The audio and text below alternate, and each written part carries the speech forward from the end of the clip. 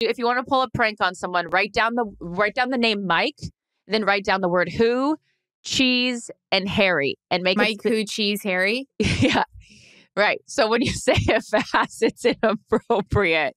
Mike Who Cheese Harry. Ew, Charissa. And it's not.